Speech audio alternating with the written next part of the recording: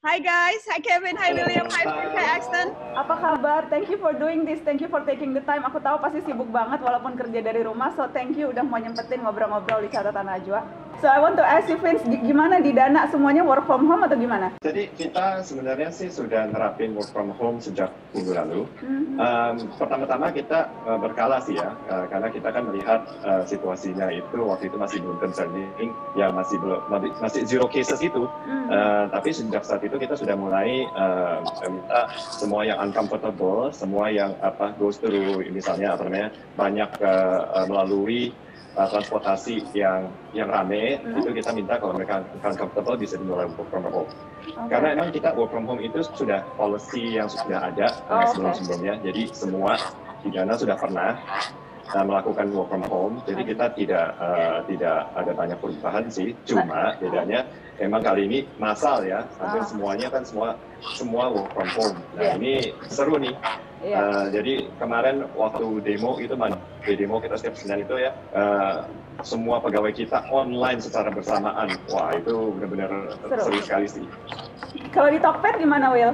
Iya, kalau kami juga dari minggu kemarin semuanya sudah work from home. Kalau saya sendiri kebetulan awal bulan Maret itu dengan beberapa um, eksekutif di Tokopedia ada bisnis travel. Jadi begitu balik ke Jakarta, kita memang sudah um, punya polisi untuk mengisolasikan diri. Jadi kalau saya pribadi dari mungkin juga mau apresiasi sih bahwa kita semua bisa work from home, tapi tidak semuanya bisa work from home.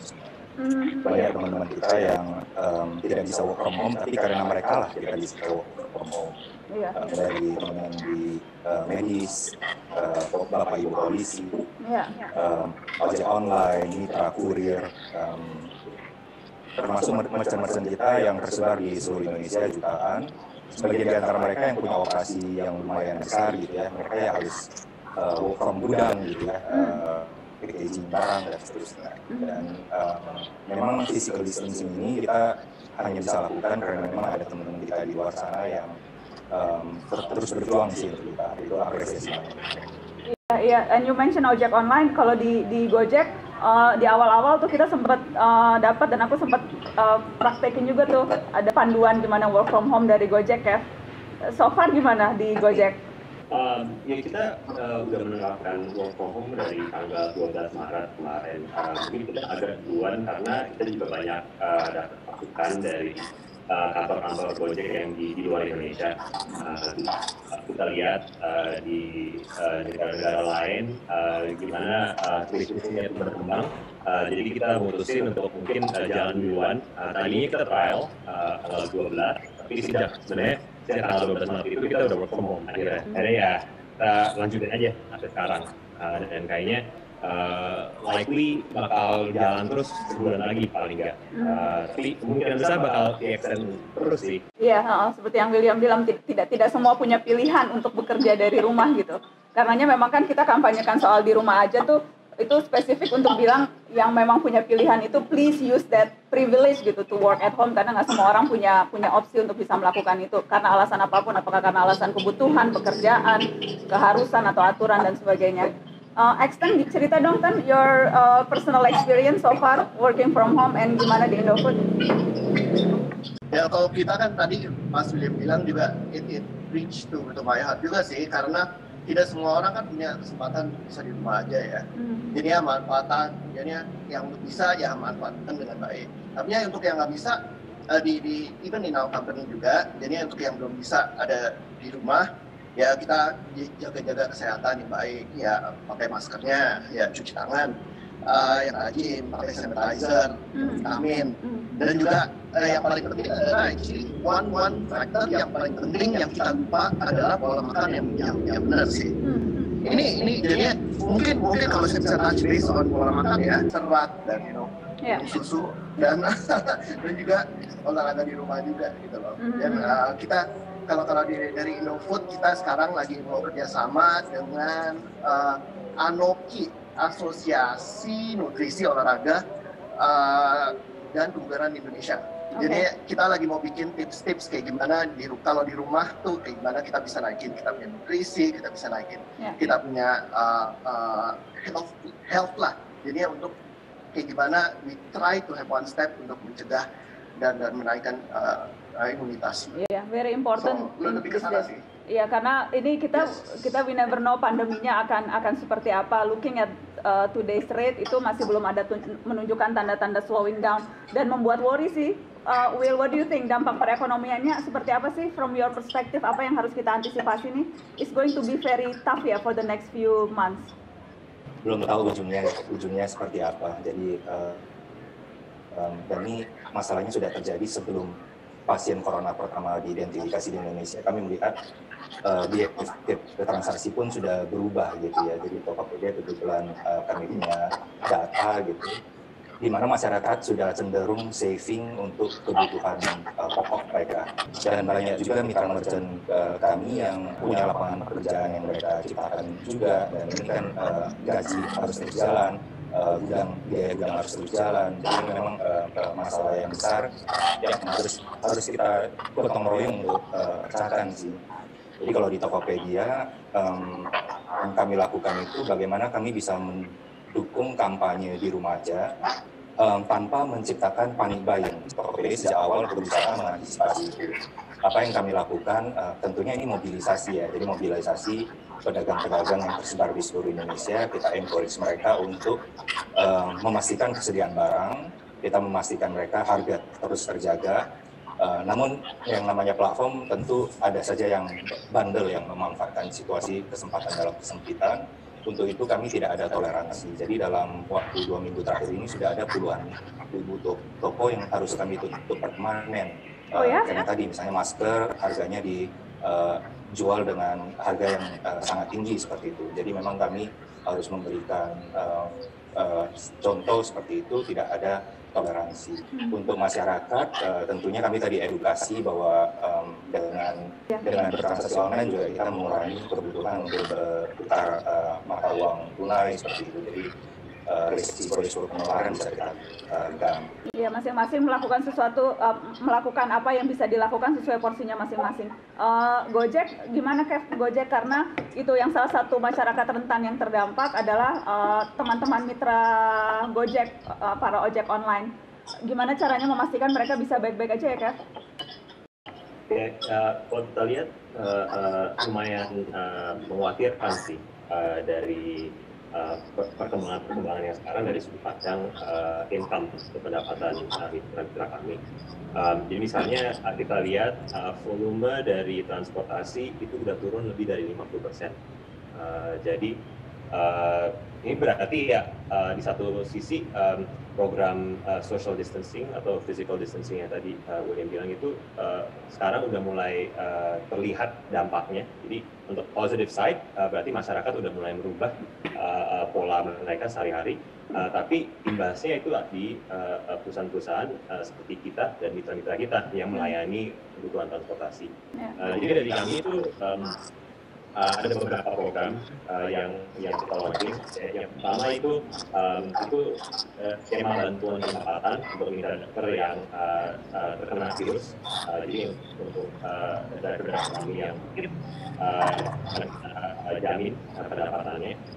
Nah, kita juga melakukan distribusi masker uh, hand sanitizer. Uh, ini sekarang kita besarkan nominalnya agar konsumen-konsumen uh, kami bisa berkontribusi dan membantu pendapatan uh, diaper. Jadi kita launching uh, uh, yayasan uh, anak bangsa kita, uh, di mana uh, funding uh, pertamanya itu kita ambil dari uh, pemotongan gaji uh, tersebut uh, di uh, termasuk saya sendiri. Uh, dan uh, anggaran untuk uh, penambahan uh, uh, gaji karyawan Gojek. Jadi itu semua kita, kita kumpulkan uh, dan akan kita uh, salurkan ke yayasan yang akan bisa membantu uh, kita uh, pada saat yang sulit ini. Cuman okay. ya seperti yang mungkin sudah dibicarakan, memang hanya uh, um, uh, aktivitas ekonomi akan turun uh, dan uh, pindah ke online. Hmm. Tapi kan kita melihat sendiri bahwa masih banyak sekali pedagang-pedagang uh, UKM uh, yang belum terbiasa ya untuk uh, supaya bisa bertransaksi online. Kalau Dana, Vince, kelihatannya gimana? Your, your prediction gitu. Dan uh, do you think we can cope? How, how, how, how shall we move on gitu? Maksudnya coping, apa yang bisa kita lakukan individu-individu nih? I think kalau dari dana ya kita melihat emang ada impactnya dan if you asking about coping we have to cope kita yeah. tuh have to survive this. Nah, have to survive no choice. this stronger. There's no choice. Ini benar-benar ada sesuatu um, kejadian yang luar biasa ya, yang impact not just um, certain people, few people, tapi semuanya gitu. Kita impact tuh sebenarnya besar sekali. Dan kita ngelihat kan bahwa COVID ini it's a it's a health risk, Uh, tapi juga kita melihatnya bahwa dampak ekonomi yang uh, terjadi ini ada kemungkinan bisa longer, ya, bisa longer lasting. Jadi uh, beberapa ya inisiatif yang kita sekarang itu yang kita um, uh, lakukan, uh, kita tuh lagi mengidentify uh, karena kan shifting ya seperti yang William said gitu, ada shifting dari behavior. Contohnya bagi banyak yang transaksi yang terjadi um, um, offline, uh, itu sudah mulai uh, pindah ke online. Tapi kan kita melihat sendiri bahwa masih banyak sekali pedagang-pedagang uh, UKM uh, yang belum terbiasa ya. Jadi kita melakukan pengajaran-pengajaran lah, mengaturan pengajaran, mengaturan, uh, melakukan um, apa namanya campaign uh, supaya mereka bisa uh, survive this. Secondly, now is it our job is really to actually help the perawat-perawatnya ini. Hmm. Ini yang salah satu yang um, saya ingin sampaikan juga nih. Kita harus sadar bahwa there are heroes out there, uh, people yang uh, perawat-perawat yang have to treat these people. So one of our initiative is actually really um, uh, kita create itu kayak donasi di dalam uh, um, aplikasi Dana supaya bisa donasi ini bisa menunjang perawat-perawat tersebut. Uh, di luar itu kita sendiri uh, sebagai perusahaan kita juga melakukan uh, inisiatif untuk bisa kontribusi memberikan barang-barang yang dibutuhkan perawat-perawat tersebut. Contohnya Google masker, uh, uh, uh, suit uh, supaya make sure mereka itu bisa merawat tanpa mereka sendiri terkontaminasi. kontaminasi. Yeah, yeah. Jadi ya ini um, di luar impact ekonomi kita juga harus lihat apa kejadian situasi yang sekarang dan kita berusaha sebaiknya gimana kita bisa membantu yang sudah terjadi. Dan yeah. kalau untuk ekonomi ke depannya yang seperti saya sampaikan tadi kan, kita melihat siapa yang terimpact dan kita akan mengarahkan um, segala kemampuan dari teknologi, dari produk kita, dari kita punya um, services and solution itu supaya kita bisa membantu mereka uh, shift dari uh, current business, jadi yang sekarang tradisional lebih ke online dan lebih cashless lah ya, karena, yeah. karena kita juga lihat sendiri karena susah dengan interaksi fisikal, cashless become much more important. Ya itu sih yeah. itu yang semua kita lakukan sekarang ini. Iya, yeah, iya. Yeah. And apa tadi you mention tentang gimana memastikan kelompok-kelompok masyarakat rentan bisa bisa terlindungi gitu dengan sedikit banyak Betul. inisiatif yang dilakukan. Uh, I know all of you has been doing a lot gitu di tengah uh, pandemi ini. Gojek is doing a lot, Tokopedia is doing a lot, Indofood is contributing a lot, Dana juga Uh, so I want to thank you all for doing that. Dan juga terima kasih sudah mensupport dan memberi donasi untuk konser musik yang diinisiasi oleh Narasi.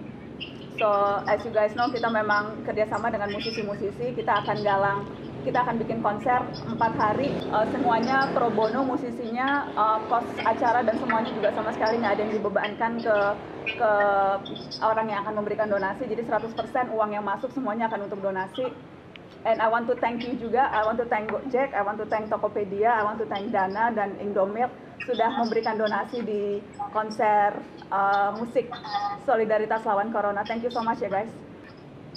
Terima kasih Najwa. Yeah, thank you. Thank you. Thank you, thank you for the opportunity yeah. juga. Yeah. Senang sekali saya bisa lihat semua kompak gitu. Yeah. Yeah, yeah. We should see how we can work together sih. Yes. Ya, yeah, harus dong. Definitely. Masa kolaborasi. Definitely, definitely. Gitu guys. Siap. Thank you so much. Okay. I hope Thank I see you, you guys you. nonton konser. Thank you. Stay okay. safe, stay healthy ya guys. Pasti nonton. Yeah, stay healthy yes, guys. Stay safe. Bye. Bye bye. Okay. Thank you. Okay, see you guys.